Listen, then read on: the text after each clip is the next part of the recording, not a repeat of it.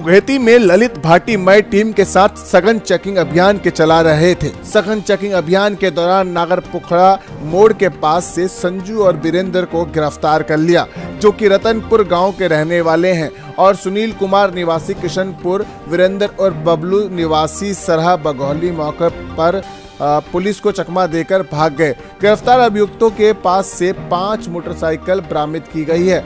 Police ने गिरफ़्तार और फरार अभियुक्तों पर मुकदमा पंजीकृत कर दिया है। पुलिस ने बताया, यह लोग शातिर किस्म के हैं, जिन पर पहले से ही मुकदमा पंजीकृत है।